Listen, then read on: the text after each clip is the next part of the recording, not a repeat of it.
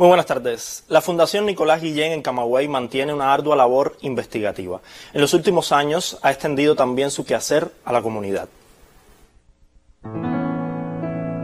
Una de las más altas figuras de la cultura cubana, Nicolás Guillén, es de los hombres que pertenecen a la continuidad. En su casa natal ubicada en la calle Hermanos Agüeros, esquina Goyo Benítez, en la ciudad de Camagüey, radica la fundación que lleva su nombre. El colectivo mantiene una sostenida labor investigativa y comunitaria. Estamos eh, ofreciendo talleres de formación, de apreciación, en este caso literaria, y también sobre la vida de Nicolás Guillén en eh, centros ahora de educación, pero eh, de nivel primario. Poder llegar hacia los jóvenes que están y sobre todo a, a la escuela pedagógica Nicolás Guillén, que lleva su nombre. El quehacer de promoción se extiende a varias enseñanzas para difundir en las nuevas generaciones textos que reflejan las más legítimas expresiones de la cultura e identidad cubanas. La Fundación Nicolás Guillén preserva y difunde la obra de quien, desde la belleza de sus versos, la fuerza lírica y la eficacia social de la palabra, nos dejó una herencia intelectual. En Camagüey, Aimea Amargos, Sistema Informativo de la Televisión Cubana. Y en el Teatro Martí de Santiago de Cuba, el Ballet Folclórico de Oriente estrenó la obra Como se toca, se baila. La periodista Karina Sotomayor y su equipo nos reseñan la primera gala de presentaciones. Es memoria viva que expresa las herencias culturales de esta giaco que es la cultura cubana. Es también un maestro en la escena, el ballet folclórico de Oriente. En el Teatro Martí la compañía estrenó la obra Como se toca, se baila con la dirección general de Aristides Bringues. La pieza es reflejo típico de esta ciudad creativa musical con habilidades probadas en la defensa del patrimonio músico-danzario. Una mezcla muy, muy variada, pero muy moderna de la música y los bailes tradicionales cubanos.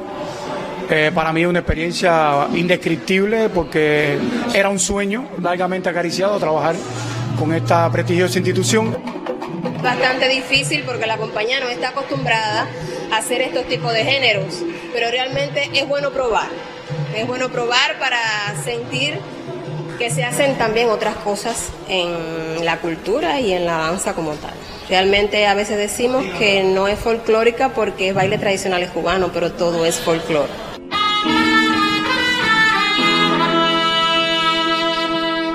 El folclórico de Oriente, pulido con más de 60 años en la escena, logra y estrena un sueño en el que muchos invirtieron talentos. El venidero 29 de abril se celebra el Día Internacional de la Danza. La festividad será el motivo para desarrollar en Ciego de Ávila la jornada Danzar en Casa. Según se informó en conferencia de prensa, la cita se desarrollará del 27 de abril al 1 de mayo.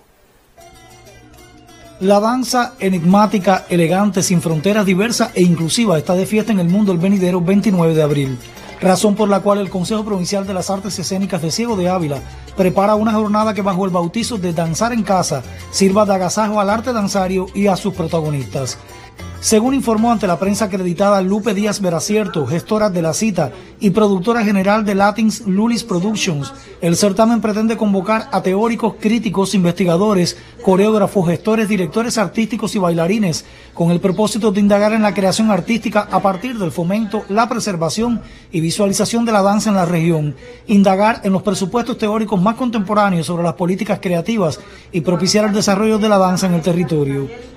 Majagua Invita será el ofrecimiento principal del evento que centrará su mirada en el municipio majahuense para enaltecer y exponer los valores de las tradiciones de la danza y la música tradicional campesina, en especial el protagonismo e historia de la figura y legado del maestro Ángel Morán Paz, quien asumió la responsabilidad de ser sistemático en el rescate y preservación de los bailes y músicas autóctonos de la localidad desde su función como instructor de arte, y luego como profesor y director general del conjunto músico danzario 20 aniversario, entidad portadora de la riqueza cultural campesina. En el programa previsto se incluyen conferencias magistrales, talleres de danza, conversatorios, conferencias, exposiciones y presentaciones de espectáculos. Danzar en Casa contará con la presencia de destacadas figuras de la danza cubana y del Consejo Nacional de las Artes Escénicas y confirma su alcance internacional, pues contará con la presencia de prestigiosas figuras de la danza en México y con la visita del doctor honoris causa, doctor Héctor Raúl Acosta Flores, cónsul del Gobierno Federal de México.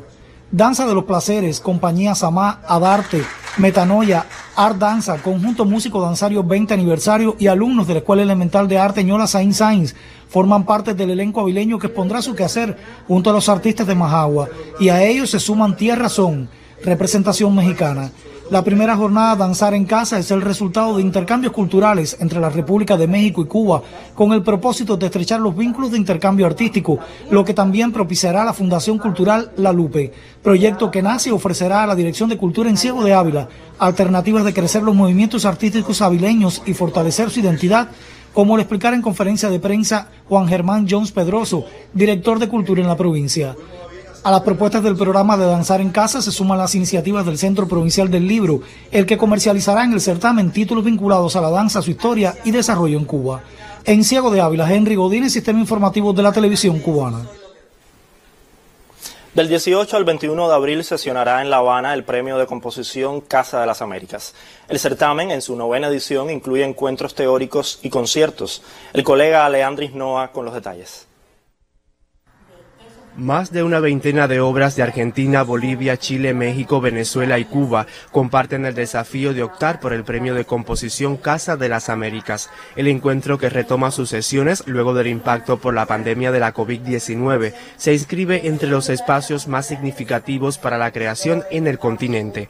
El programa de la novena edición del certamen dedicado a la música visual incluye intercambios, seminarios, conversatorios, muestras de arte, conciertos y conferencias de ofrecer a los participantes diversas herramientas de creación que combinan el cotidiano vínculo entre arte, tecnología y sociedad. Para nosotros yo creo que y para la creación del continente creo que este regreso tiene realmente una especial significación, no solo por podernos volver a dar un abrazo, sino por proyectar futuras acciones que puedan, eh, digamos, estar dentro, dentro del evento para, para futuras ediciones. El jurado en esta ocasión está compuesto por prestigiosos conocedores de la obra musical latinoamericana. Son ellos Wilma Alba de Cuba, Francisco Colasantos de Argentina y Rodrigo Sigal de México. Casa de las Américas es un sitio muy especial para mí porque desde el 2009 estoy participando en los premios de composición como parte de los talleres y viendo cada uno de los jurados que se han presentado y han mostrado su creación en el Premio Casa. Eh, además, me une a este sitio los lazos de haber hecho la música del documental Nuestra Idea y otras documentales que también eh, reflejan la conexión de casa con otros intelectuales de Latinoamérica.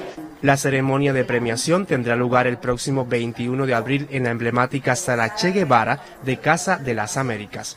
Leandris Noafae, Sistema Informativo de la Televisión Cubana. Los músicos miembros del Consejo Nacional de la UNIAC dialogan hoy en La Habana. En el encuentro los debates se centran en temas tales como las fuentes de empleo para los creadores, el perfeccionamiento del sistema empresarial y los claustros de la enseñanza artística. En próximas emisiones le ofreceremos más información. Así finalizan las culturales. Tenga muy buenas tardes.